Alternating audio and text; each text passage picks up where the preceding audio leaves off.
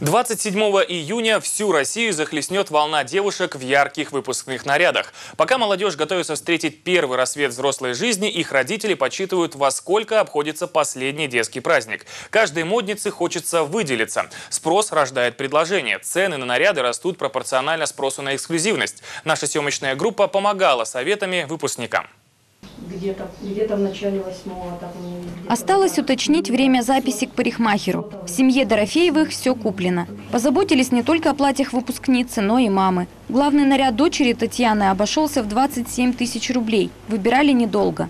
При примерке вот это платье мы одели третье по счету, и оно прям идеально легло по фигуре, то есть оно не пышное, оно идеально лежит по фигуре. А, у этого платья три юбки, два атласных э, и шелк. К украшенному стразами платью бежевые босоножки на каблуке ценой в 3000, второе платье для похода в ресторан около 5000 и услуги парикмахера. Итого только расходы на внешний вид дочери Яны потянули на 40 тысяч. Но Татьяна тратить готова, мол, единственная дочь, да и школьный выпускной один раз в жизни бывает.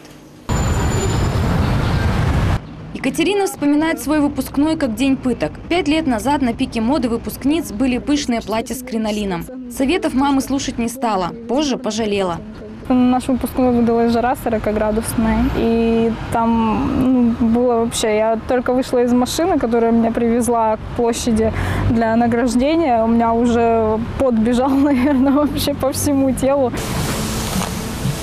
Владелица салона рассказывает, мода на кринолин не прошла. На вкус и цвет товарищей по-прежнему нет, особенно в женской моде. Такой же разброс и в ценниках. Стоимость нарядов доходит до 50 тысяч. Но даже при такой дороговизне выбор в салонах остается маленьким. Разбирать начинают еще с зимы.